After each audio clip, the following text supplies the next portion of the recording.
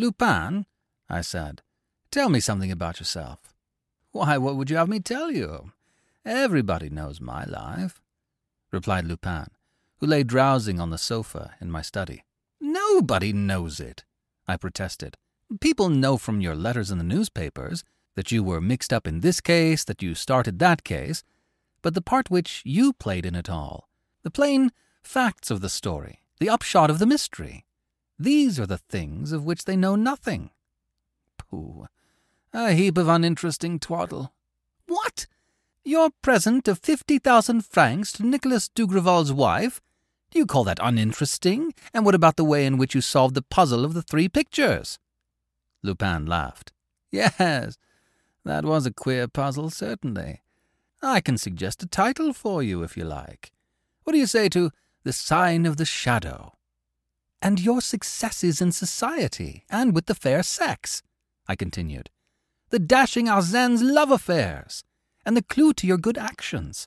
Those chapters in your life to which you have so often alluded under the names of The Wedding Ring, Shadowed by Death, and so on.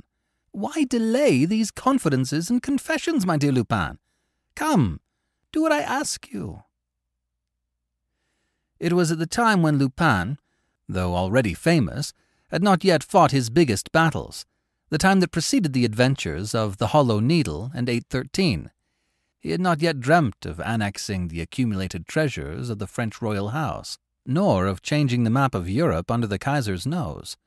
He contented himself with milder surprises and humbler profits, making his daily effort, doing evil from day to day, and doing a little good as well, naturally and for the love of the thing, like a whimsical and compassionate Don Quixote. He was silent, and I insisted. Lupin, I wish you would. To my astonishment, he replied, Take a sheet of paper, old fellow, and a pencil. I obeyed with alacrity, delighted at the thought that he at last meant to dictate to me some of those pages which he knows how to clothe with such vigour and fancy, pages which I, unfortunately, am obliged to spoil with tedious explanations and boring developments. Are you ready?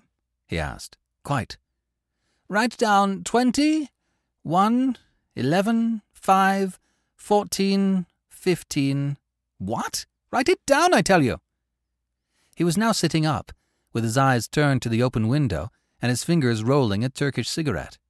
He continued, Write down twenty-one, fourteen, fourteen, five. He stopped. Then he went on. Three, five, nineteen, nineteen. And after a pause, five, eighteen, twenty-five. Was he mad?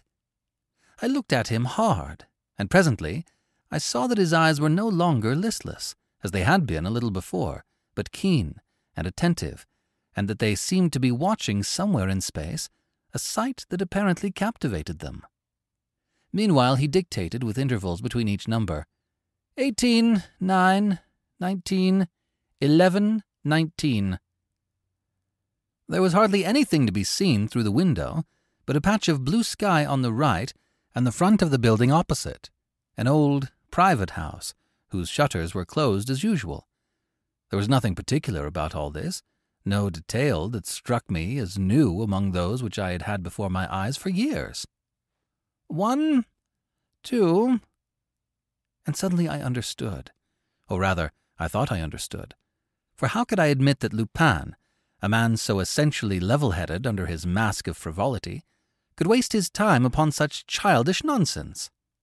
What he was counting was the intermittent flashes of a ray of sunlight playing on the dingy front of the opposite house at the height of the second floor. Fifteen, twenty-two, said Lupin. The flash disappeared for a few seconds and then struck the house again, successively, at regular intervals, and disappeared once more. I had instinctively counted the flashes, and I said aloud, Five? Caught the idea.